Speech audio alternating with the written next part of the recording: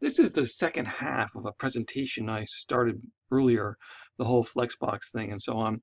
Really, I need to separate it out into its own stuff. If you want to see the, the slides, if you go back to that presentation uh, where, where I initially introduced Flexbox and described it in presentation form, um, the second half of those slides are actually what I'm going through now.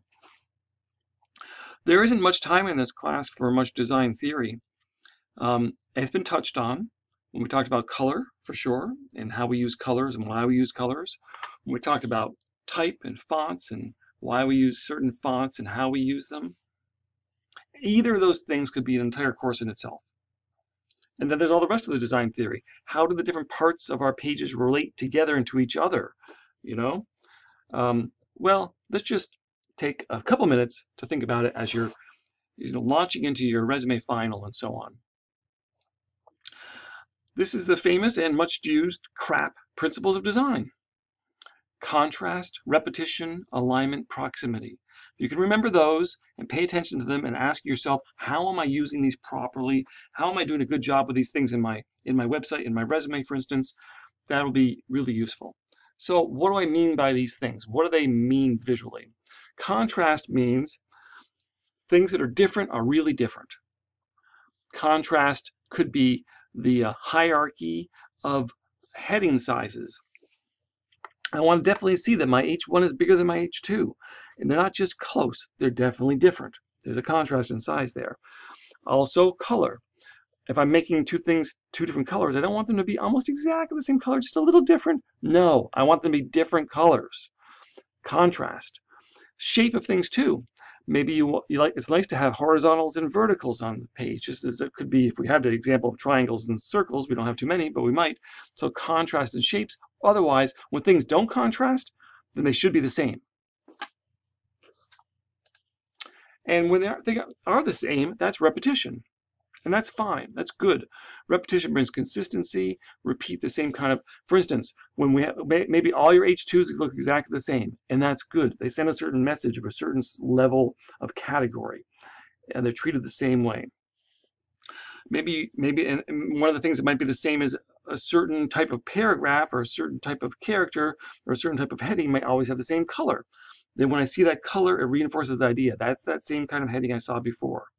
So Spacing works a similar way. The way we space things should be the same, and many times it's repetition. The fonts, for sure. You can use just one font through your entire resume, and I actually like it. Um, I don't think you need to change other fonts. Maybe there'll be a little difference for a reason. That would be contrast, contrasting fonts. Otherwise, repetition, repetition is a good thing. We train our readers, our viewers of our websites, to look for certain things and that they have a certain meaning and they get repeated. Alignment. Our eye likes it when things line up. There, these, this line up here, all aligned left. That's great. But when things are nearly aligned but not quite aligned, that's when they look odd. Odd is not necessarily bad. In fact, when we see design trends, we'll see that the idea of like little things that look almost like mistakes can also be a good thing.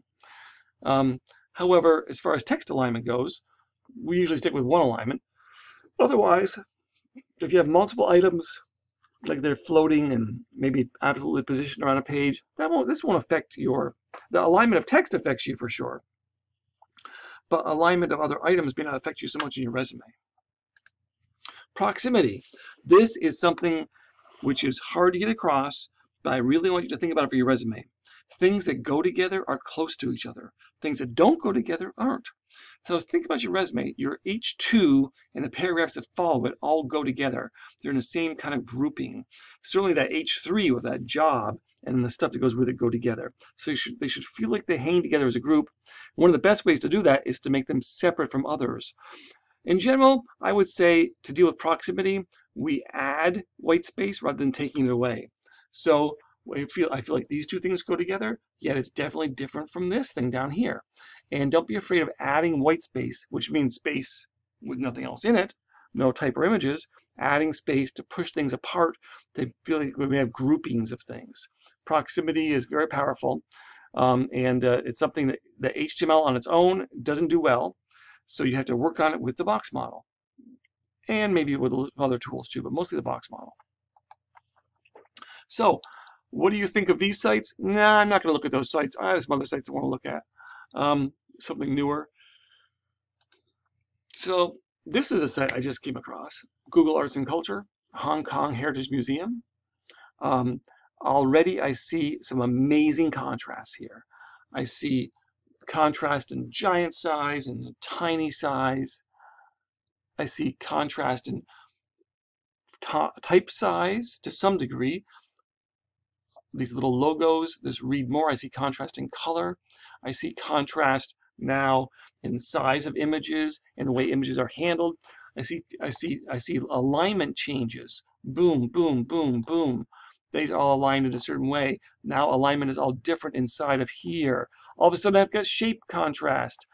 I don't have a lot of hierarchy of font sizes in this page. Um, so I see a lot of contrast. I see some contrast in shapes and so on. I see colors. I see proximity. These things are all pulled together like crazy. They're definitely different from these things, which are definitely different. These things, these kind of hang together, separate, separate. And repetition, of course. I see in the repetition of these sizes and all the fonts that are used in the same ways. Repetition, repetition in fonts down here, then we're repeating this logo over again. So that's how I would think about those design principles as, as they relate to that. And you know what? I have some other sites I could show you. Mm, I'm not going to. We'll skip. We'll say, well, I'll let you think about sites that you look at and how those principles apply. And before you start, now, as far as designing a site, what we've done with your resume is you've learned design and you built and built and built and built as you went along. You've learned HTML and CSS. So it's just kind of grown organically. Of course, that's not really how your site would begin. Um, actually, it would start before even design phase. It would start with keywords and so on. We'll talk about that another time. But one thing you definitely, when you're working in the design frame, you would do wireframing, which is essentially just sketching, either sketching on paper, and people still do this. They sketch on paper, graph paper, and map out a site, or they might cut cut things out of magazines and use paper and other media and paste things together to what they want as far as look at look like in general. Or they might use uh, a, a, layout tool like the 90, 960gs which I'm not teaching here but it's getting a little old-fashioned but it's a kind of a different kind of layout prototyping tool. Or they might use something like InDesign or Photoshop and build prototypes there. They're just sort of like mock-ups um, there's lots of wireframing resources. If you just type web wireframing, there's also programs you can use, many others. Um, that's all I want to get say about wireframing and site sketching, but they're definitely important tools you might use. And you might think about web design trends. If you use a link like this one, or just which Google's web design trends, you'll get, among others, sites like this, which talks about current trends. These are eight innovative web trends for 2020. And we definitely see some big changes in sites this year. Now, of course, there's lots of old sites around still, and they are not changing necessarily. But here are some of the trends according to these people. And there are some, some big some big changes. Excuse me. Sorry. Some big changes. We're seeing more dark sites. Frankly, my poor old eyes don't like that. But we're definitely seeing more and more dark sites. And we're seeing um, I think this is definitely a trend I've seen in print also. Imperfections that add personality. You know, in some ways, our lives are filled, our lives are filled with glossy, perfectly made things um, all around us. So that handmade imperfections is something interesting that we're seeing more and more the, being simulated on the web. Of course, that's a joke, right? It's being simulated in what is almost a perfect environment. But things that are not really lined up quite right, things that are more like handwriting, things that are a bit more goofy or more like scrapbooked or more feel a bit more handmade, imperfect hand-drawn things. We're seeing more and more of that. Um, immersive 3D elements, I guess so. Um, it's an awful lot of work, it looks like to me, and not something that we can, that you're gonna be able to handle doing based on this class, but here's something interesting. For quite a while, we saw the web trend was away from shadows and away from 3D looking things. And now we're seeing that coming back again. For quite a while, we had everything was flat design. Um, that is for like probably two years. And then this past year and a half, we've seen more and more shadow and heading more towards 3D design coming back. Um, soft mixing photography with graphics. I don't think that's anything that new, but they think it's a new trend. I see maybe it's a bit more new when it's done like this. Um, and solid frames of white space. Mm, okay, I guess what that means is white space as in unused, like solid frame, open areas around the edges of page, much more like traditional margins. Um, and glowing luminous color schemes. We definitely, I've definitely been hearing that that brighter and neony colors are coming back and uh, luminous color schemes, I guess so, that would be kind of part of that idea. Minimalist navigation. Where's the navigation? I can't even find it. Well, we're used to that navigation now on mobile, so now we're seeing it everywhere, I guess. Maybe that's part of it. And are we done here? Mm, more trends. Okay, that's enough. So, uh, but you go to 10 different sites like this and you'll get 10 different ideas, sort of, but there'll be something, a feeling that we're all headed in a certain direction, but yet it doesn't mean we all have to go the same way either. Hey, maybe you want to be a contrarians. And when you're when you're working on sites and just do your own thing, make like go the opposite direction to look different. That's another option too. Okay, so now let's look more at the the traditional structure of traditional pages and the other way to look at design is break down existing sites and think about the different areas on the site and what kind of jobs they're doing and what what their what their the function of their design, right? And um, for instance, on on a very traditional site, we see a a, a header navigation area, we see a, a main content area, we see a secondary content area, and we see a footer area. So those things are repeated and repeated and repeated all around the web. And those, those chunks have different jobs to do. The feature area, the main feature area is usually the big image. It might be a carousel of images that fly by. Um, it might be image with text on it, as in these examples. Maybe not. Maybe the text is separate. The big image. Not every site has it, but it's pretty traditional, and I think it's a good idea. A dominant art and draw the attention to the big story with the big image. It's what its images are what the web, it's image and type what the web is all about, and the big images catch our attention if they're good ones.